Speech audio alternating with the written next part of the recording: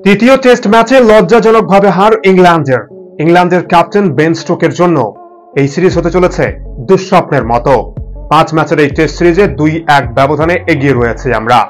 আগেই বলা হয়েছিল টেস্ট ম্যাচ এবং টেস্ট সিরিজ শুরু হওয়ার আগেই যে ইংল্যান্ডের বাজ বল না ফেস বল, ভারতের মাটিতে এসব চলবে না।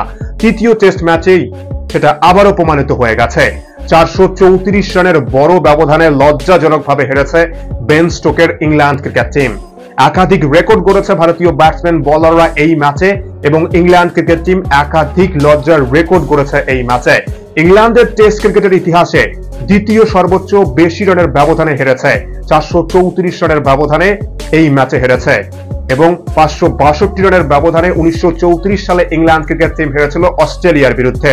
অন্যদিকে আমাদের ভারতীয় ক্রিকেট টিম আমাদের টেস্ট ক্রিকেটের ইতিহাসে সবচেয়ে বেশি রানের ব্যবধানে জয় পেয়েছি আমরা। চারশো চৌত্রিশ রানের ব্যবধানে ইংল্যান্ডকে উড়িয়ে দিয়েছি আমরা এই ম্যাচে।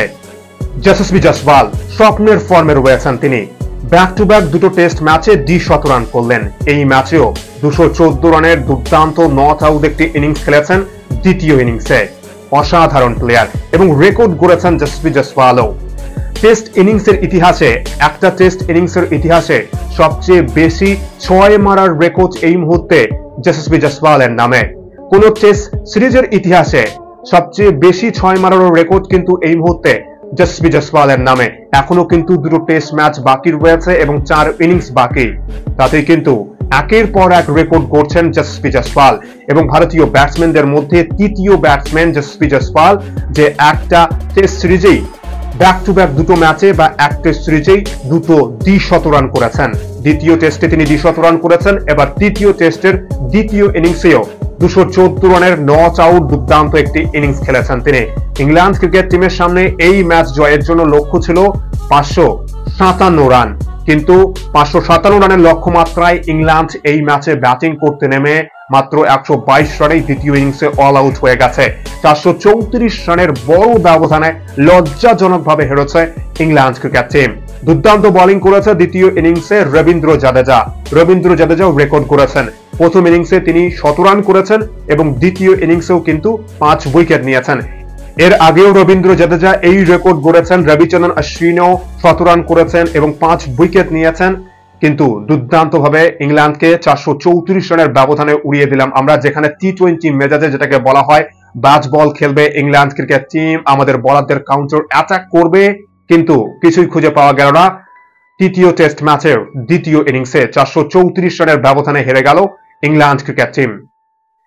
তৃতীয় টেস্ট ম্যাচে ইংল্যান্ডের বাজবল একটু কাজ করেছিল। দ্বিতীয় দিনের খেলার শেষে, দ্বিতীয় দিনের শেষ সেশনে ইংল্যান্ড ক্রিকেট টিম যে পঁয়ত্রিশ ওভার ব্যাটিং করেছিল এবং যে দুশো প্লাস রান করেছিল, এটাই একমাত্র ইংল্যান্ড ক্লিক করতে পেরেছে এই ম্যাচে। তাছাড়া ইংল্যান্ডের ব্যাটসম্যান, বলার সবাই ব্যর্থ।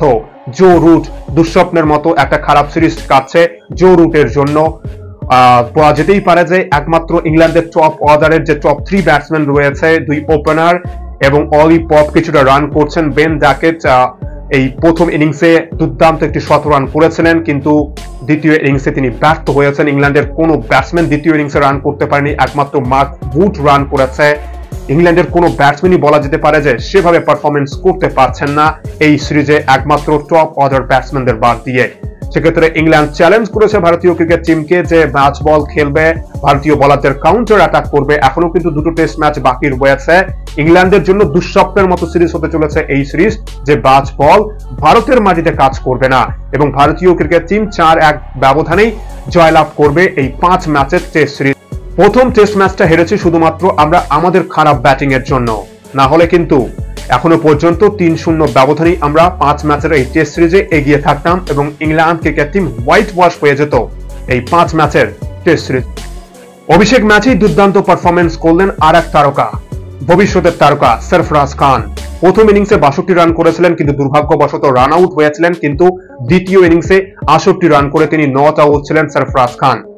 অভিষেক ম্যাচেই দুই ইনিংসেই অর্ধ শত রান করলেন আশা করি আমরা যে বাকি দুই টেস্ট ম্যাচ রয়েছে এই দুই টেস্ট ম্যাচের মধ্যে ব্যাটিং করার সুযোগ পেলেই তিনি শত রান করবেন।